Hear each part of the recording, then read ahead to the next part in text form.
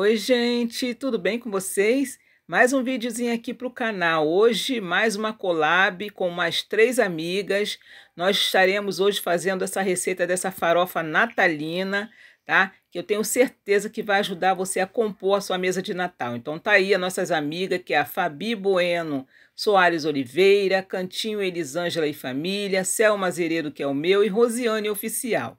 Então fique aí com o passo a passo da minha receita e no final vocês vão lá no canal delas, tá? Para ver também o jeitinho que elas vão fazer, tá bom, gente? Então agora vamos para o passo a passo. Bom, vamos dar início à nossa receita. Já estou aí com 200 gramas de linguiça calabresa, 200 gramas de bacon picado e azeite. Vou usar também as três cenouras grandes raladas, duas colheres de alho picado, uma cebola média ralada ou picada, cheiro verde e margarina.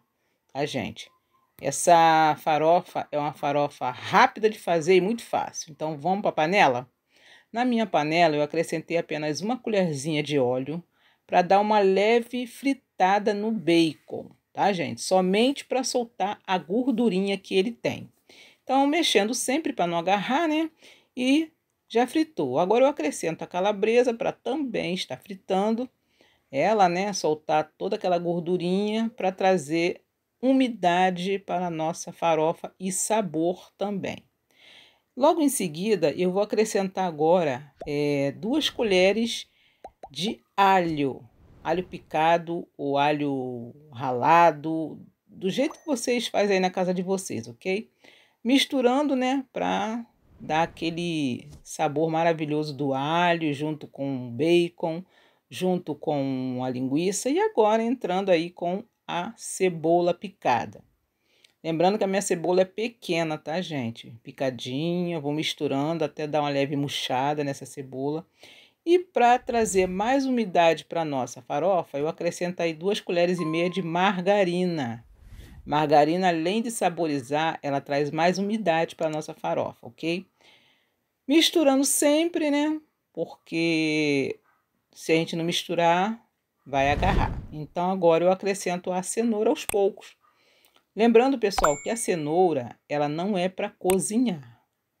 Na farofa, dê uma murchada, já está ótimo. Então, acrescentei aí a metade, vou misturando para agregar o sabor da cebola, do alho, do bacon, da linguiça. Murchou, já está ótimo, né? Olha como está ficando. Gente, o cheirinho aqui está maravilhoso, está divino. Sobe, né? Um cheirinho maravilhoso. Bom, vou acrescentar o restante da cenoura e vou misturando.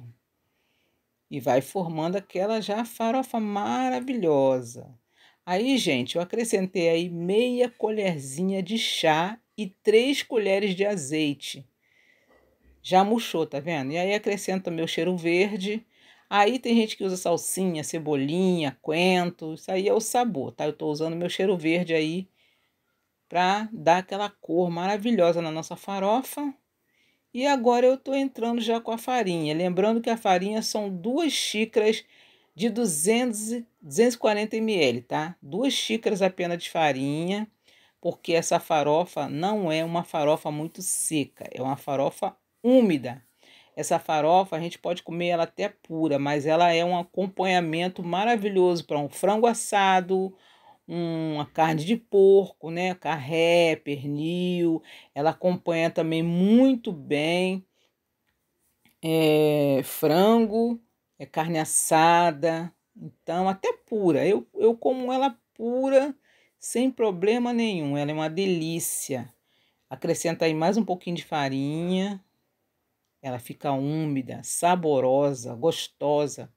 Fica uma farofa maravilhosa, com aquele gostinho da linguiça calabresa, que a linguiça calabresa ela tende a ter uma pimentinha, né? Gente, fica maravilhoso. Então tá aí a minha farofa. Se vocês quiserem acrescentar aí azeitonas, ervilha, milho, passas, ficam à vontade. É porque aqui em casa a gente não curte muito essas coisas na farofa, não. Até porque tem pessoas que não gostam, né? Bom, agora vou experimentar para ver como é que tá o sal. Está uma delícia. Hum. Bom, a minha farofa está pronta, gente. Já vou colocar aí no meu refratário, quentinha, ó. colocando aí no meu refratário. Você pode decorar com é, passas, pode decorar com ervilha, pode decorar com azeitonas. É porque tem gente que não gosta de milho, tem pessoas que não gostam de ervilha, então a minha está ótima, tradicional assim mesmo. A única coisa que eu joguei por cima foi um cheiro verde, né? Uma salsinha para dar uma decorada. Mas ficou tanta farofa que chegou. chegou, derramou aí no refratário. Eu saí jogando, que estava quente a panela.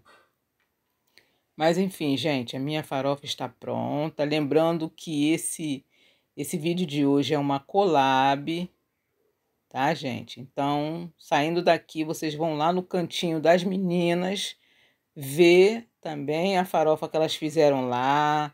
Se inscreve no canal, dê o seu like, clica no sininho lá, tá bom? Para dar uma força no canal das amigas também. Então, nós estamos aqui com essa collab de farofa de Natal e cada uma tá fazendo de um jeito. Então, é né, opção aí para você estar fazendo a sua farofa aí de Natal, ok? Então, olha, joguei aí uma salsinha e ficou assim a minha farofa de Natal. Vou estar experimentando agora a minha farofinha, olha como fica soltinha. Vou comer pura mesmo, porque ela tá uma delícia, né? O sabor da linguiça, o sabor do bacon, a, a cenoura, hum, maravilha. Cebola, alho, tá bem temperadinha. Diante dessa delícia, vou encerrar meu vídeo de hoje. Quero agradecer vocês que estiveram comigo aqui até o finalzinho, tá, gente? Então, agora que vocês ficaram até o final, vão lá no canal das amigas, tá? Lembrando que é uma collab. Nós estamos aqui é, compartilhando opções de farofa de Natal para vocês compor a sua mesa aí de Natal para sua família, tá bom? Então agora eu vou deixar o nome delas, né, do canalzinho delas aí para vocês e lá se inscrever no canal, tá? Compartilhar. Um grande beijo e até o próximo vídeo.